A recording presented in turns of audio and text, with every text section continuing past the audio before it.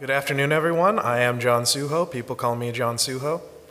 Uh, I'm a security engineer at InterSystems. Uh, most of my time is spent doing vulnerability management, but they let me moonlight by giving presentations about fun security topics, like this one on OAuth 2 fundamentals. Um, this session will focus on general concepts in OAuth 2, and the following session will discuss using OAuth 2 with InterSystems products. So this is a pretty complex topic. So while you won't know everything there is to know about OAuth 2 at the end of this, you should have enough of a primer to understand a lot more of the documentation and the many OAuth 2 resources that are out there.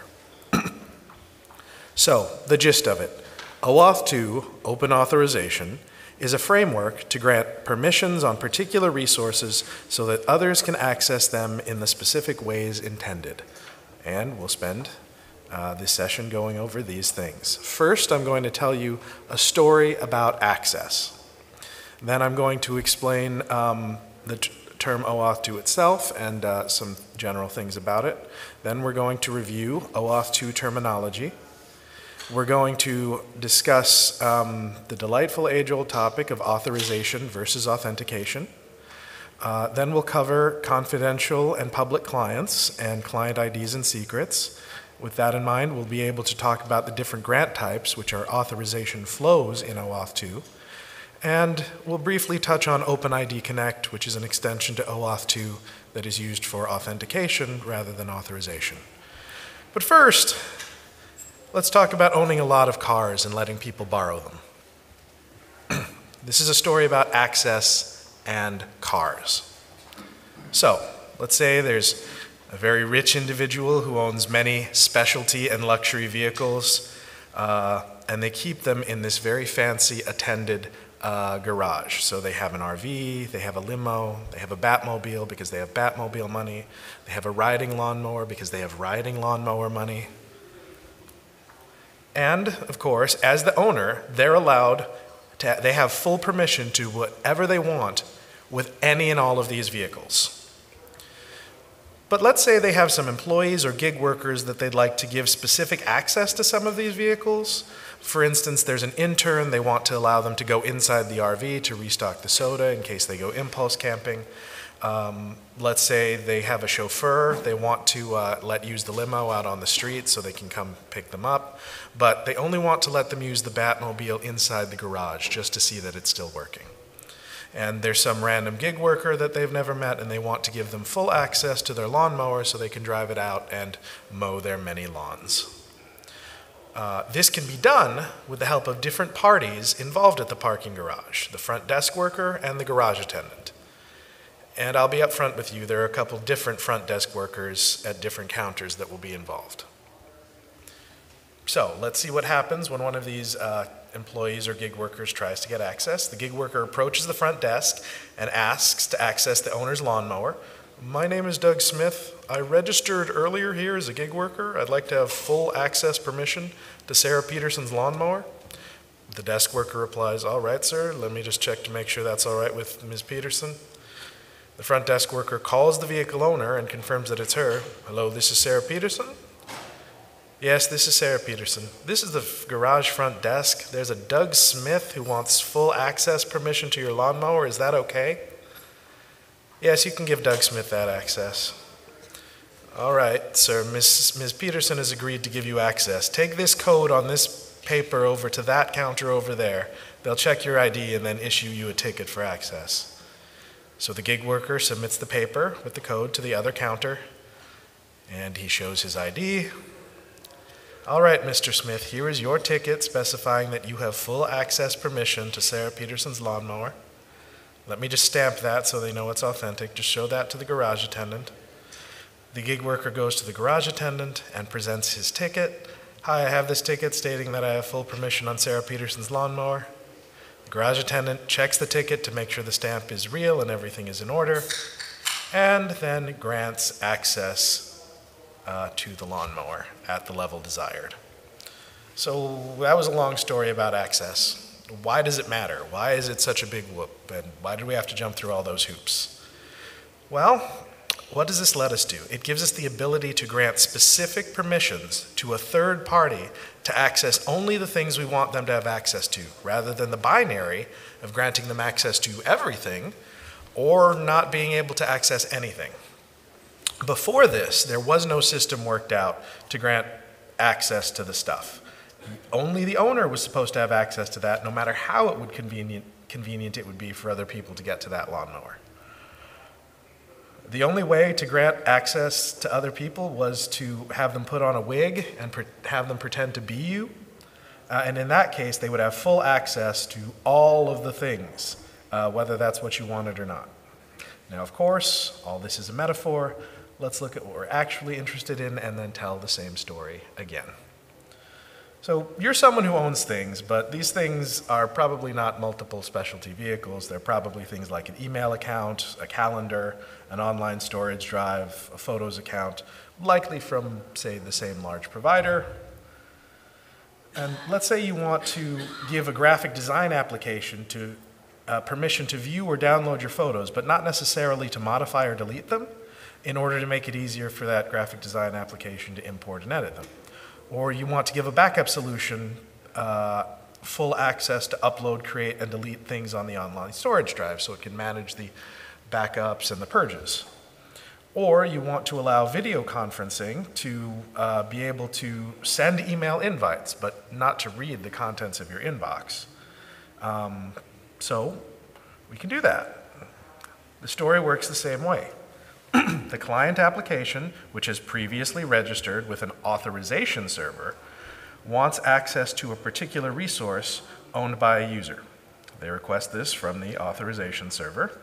The authorization server uh, then reaches out to the resource owner and authenticates them to make sure it's them. The resource owner is asked whether or not access should be granted to the app requesting it.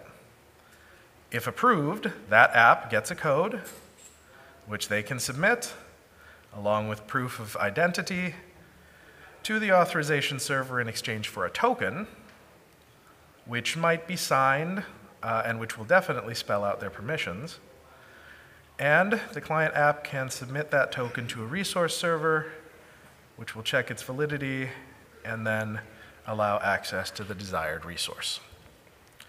I'm going to put a big asterisk next to all of this. The exact details and sequence of how the different parties communicate with each other, like how they check identity and how the token actually gets to the client, all of that can vary greatly. Um, so don't get too tied to the details of this flow because there's lots of variation, some of which we'll look at later. But admittedly, in a large nutshell, that's the basic premise of OAuth 2.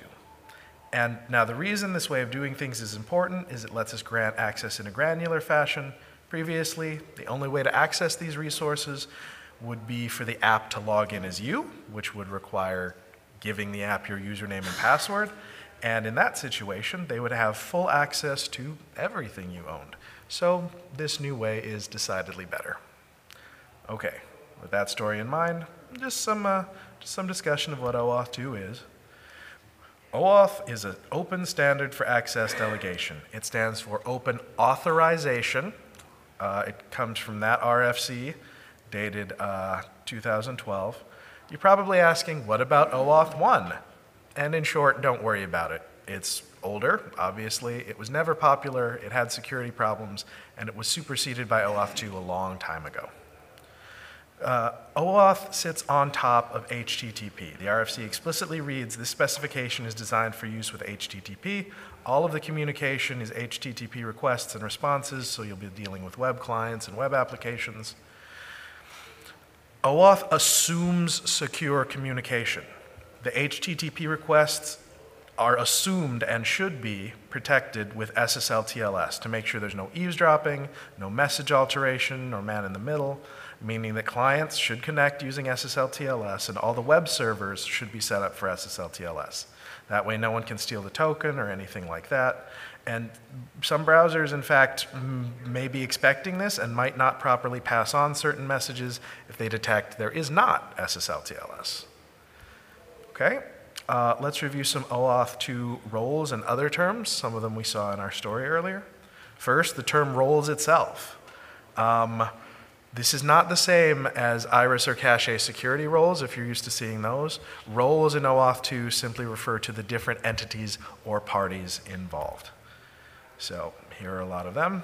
Uh, so we have some terms that will be roles, others that are not roles. Let's step through them in no particular order. The resources are the things to be accessed, the particular data or operations the applications want to get a hold of.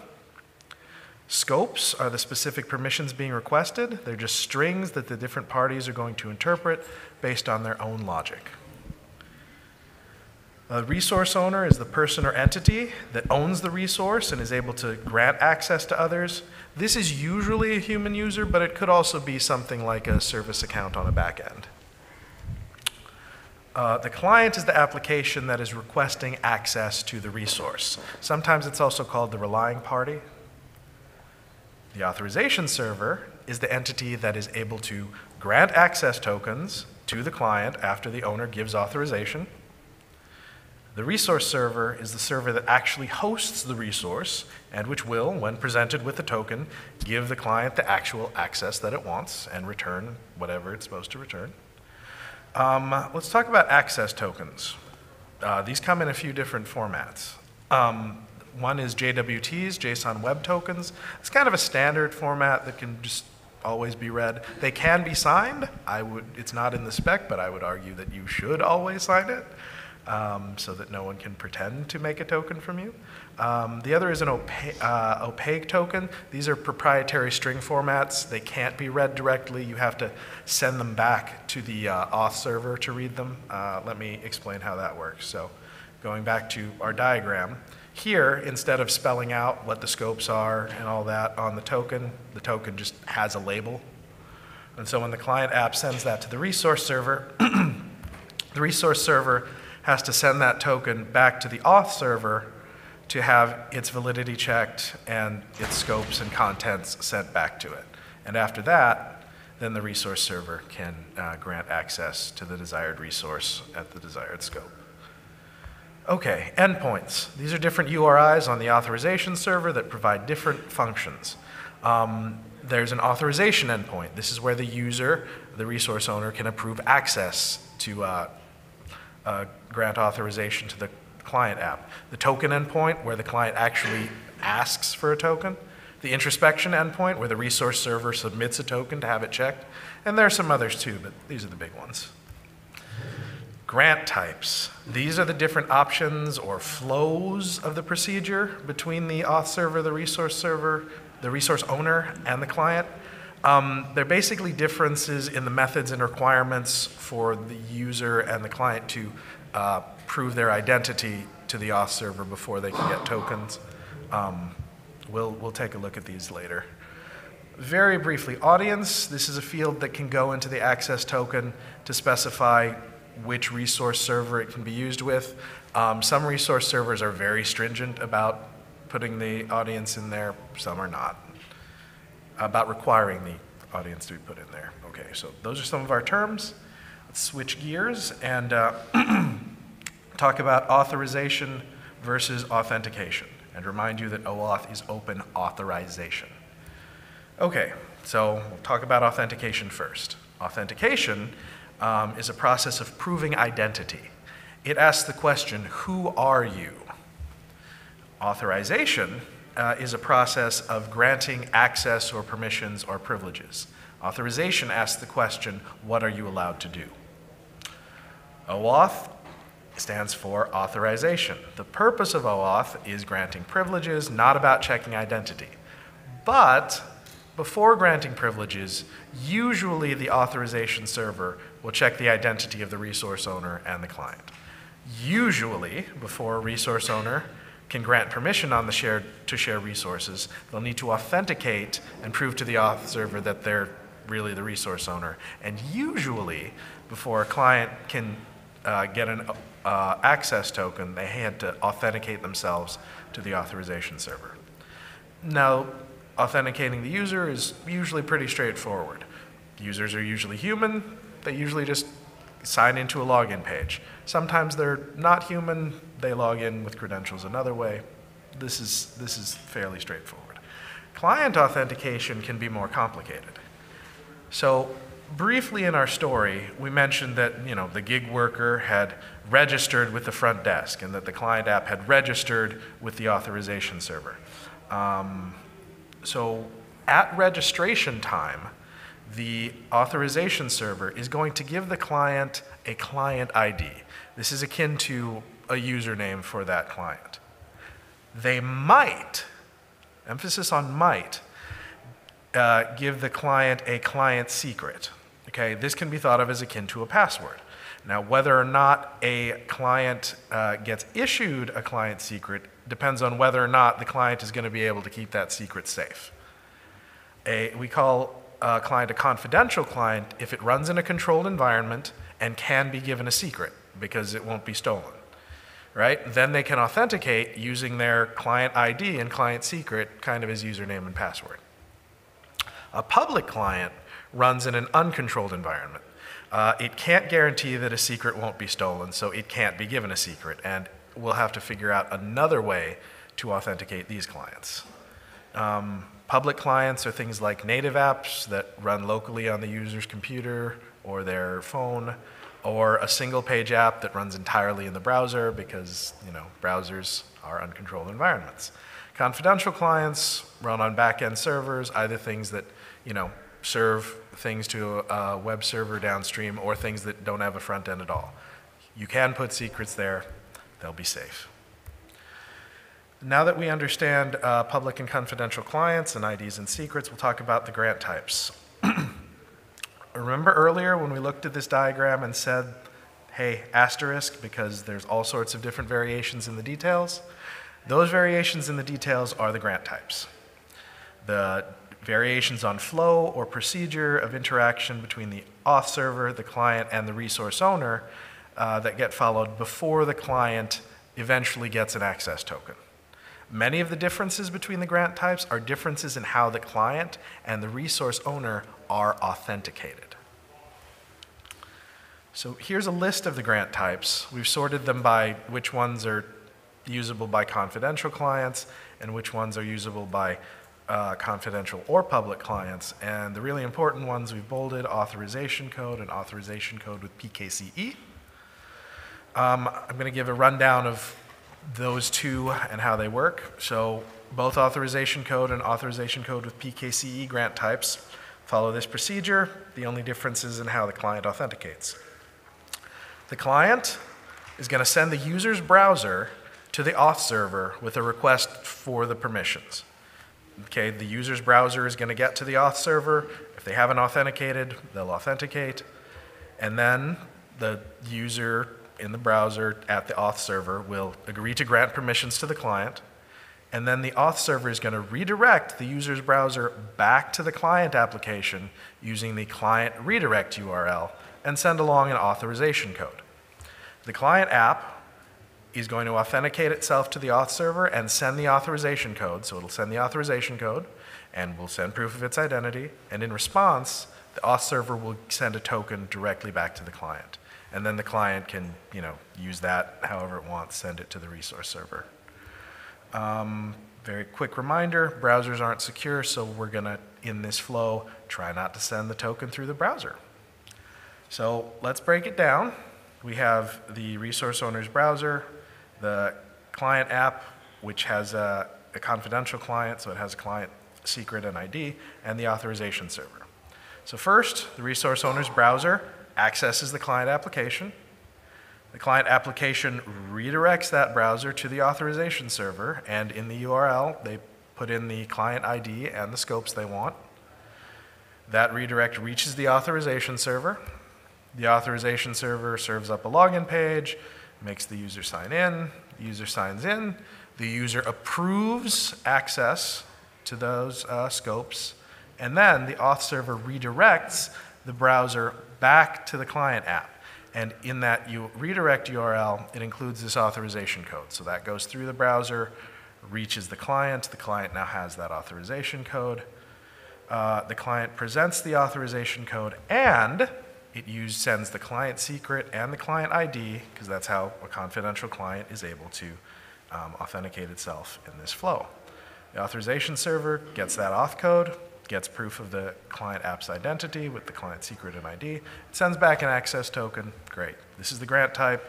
The uh, client app can then, you know, send out that token to whatever resource server it needs to. The authorization code with PKCE grant type is a variant of this. PKCE, also pronounced pixie, stands for Proof Key for Code Exchange. See that RFC? And it doesn't use a client secret. Instead, it uses a temporary code challenge. Um, no client secret means that it can be used by both confidential and public clients. So let's go over some of the differences with PKC versus not PKC and authorization code grant type. Um, with PKCE, the client passes that code challenge to the auth server in the URL. The auth server saves that code challenge. Then later, when the client authenticates itself, instead of sending the client secret, it sends a code verifier, which is related to and derived from the code challenge, and the auth server can validate that. So it's kind of like a temporary client secret, uh, is how I think of it. So here's the big overview with all of the differences uh, in little lavender boxes, so let's just step through this in chunks. So first, the resource owner's browser accesses the client app. Client app redirects them to the auth server, um, and in the redirect URL, they send the code challenge. Um, the browser reaches out to the authorization server. The authorization server saves that code challenge from that redirect URL. And then, like before, the auth server makes the user log in, the user uh, approves access, and then the auth server uh, sends an authorization code back in the URL.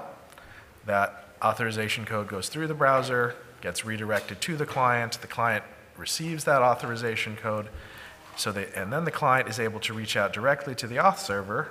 They send that authorization code, they send their client ID, and they also send this code verifier, which gets checked against the code challenge that was sent earlier. And then the auth server sends a token, which the client can use against resource server as it sees fit. Okay, let's go back to our list of grant types. We're going to talk about implicit next, and then about the rest of them. We have to talk about implicit even though you shouldn't use it. It's not secure, but it is part of the standard, so let's describe it. Uh, how does it check the client's identity? It does not. Instead of sending an authorization code that the client can trade for a token, the authorization server just sends the token back in the redirect, meaning it goes through the browser. That's not secure.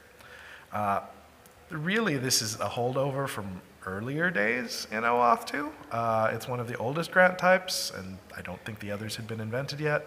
It doesn't need a client secret, so you can use it as a public client, but don't unless you have a very good reason that you've cleared with your security admin. Um, we're not going to step through all of this. I'm just going to point you to number item six here with the highlight in yellow.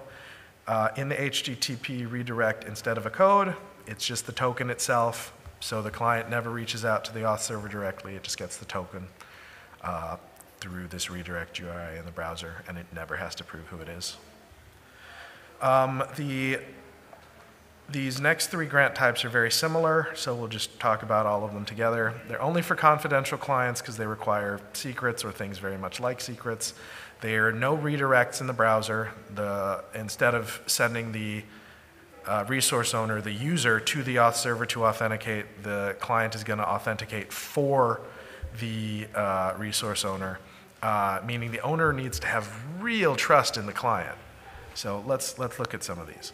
There's the password grant type, where the owner trusts the client so much they just give their username and password to the client, and then the client can um, log in for them directly. It's kind of like the giving the gig worker a wig and having them pretend to be you metaphor. So the client's going to send the username and password of the resource owner, but they're also going to send their client ID and client secret for them as the client. They're going to send that off to the auth server. They're going to get a token back, and then they can use that token, you know, with resource servers. That's password grant type. Client credentials grant type is even simpler. Um, in client credentials, uh, you'd use this for a background application with like a service account because um, the client credential in client credentials there is no the resource owner is the client, right? You're not dealing with a human user. You're dealing with a service account it doesn't have to get someone else's credentials, it just uses its own credentials, and there's only one set. So it just sends the client ID and the client secret and gets back a token, right? JWT authorization grant type is basically the same as client credentials, but you don't use a client secret per se.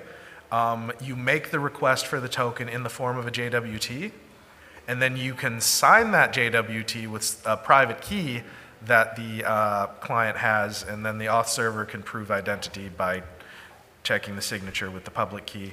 And again, only for confidential clients, because you need a private key that should be kept secret. Um, the private and public key can come from a certificate of key pair, but usually they instead come from a JWKS, a JSON web key set, which can be kept dynamically updated between the different members. Um, and JWKSs uh, are also used generally for checking signatures on JWTs everywhere. They're not just used for this grant type. Anywhere you would uh, have a JWT, you can check it with a JWKS to the point where I'm going to bold that. If you need to check a JWT in OAuth, there'll probably be a JWKS involved. Okay, um, next we have to talk about um, using OAuth for authentication um, and something called OpenID Connect. I, I refer to this as same plumbing, different purpose. So I'm going to tell you another story. This is a story about catering. This is a caterer. This caterer is doing business with that car owner that we met earlier. She's throwing an event, and wants a cake. She also wants some of that buffet tray chicken. It's pretty good chicken. Uh, and to work with her, obviously the caterer is going to need her contact information. But instead of getting it from her directly, the caterer knows that the parking garage already has it. So he's just going to grab it from them. The caterer goes to the front desk of the parking garage, and says, I'd like the contact information for Sarah Peterson, who's a vehicle owner here. I already registered here as a gig worker. I might not ever ask for any cars, but I still registered. The front desk worker says, Okay, let me clear this with Sarah Peterson. The front desk worker uh, reaches out to the vehicle owner and authenticates them. Uh, the vehicle owner gives permission for the front desk to share her contact information with the caterer. Uh, the caterer gets a code. Caterer exchanges that code at another counter for the front desk after proving his identity. And then the caterer gets a ticket that doesn't give him permission on any cars, but which does give him contact information for the specific vehicle owner. And he uses that himself for his own business. The garage attendant and any vehicles are not involved. The caterer just takes the contact information, uses it for his own business proceedings uh, with that vehicle owner. So that's our story. Um, we're not going to go over it again, but we are going to talk about uh, how people wanted to use OAuth for authentication. We said that the point of OAuth 2 is to provide authorization, not to provide authentication. But boy, did people want to use it for authentication, because it's great plumbing, as you can see. So they invented OpenID Connect. This is an extension to OAuth 2 uh, that's designed for authentication. So the client can get an ID token that contains information about their user, their name, their username, stuff like that, and you know proof that they signed in recently with you know a session and when the token expires. Uh, the ID token is obtained by requesting the OpenID scope or some related scopes. And an ID token is separate from and in addition to any regular access tokens involved. It's not just going to be lumped in with the other scopes in there, it's going to get its own token. Um, and like we said, OpenID Connect is used by the client to authenticate the user in its own application.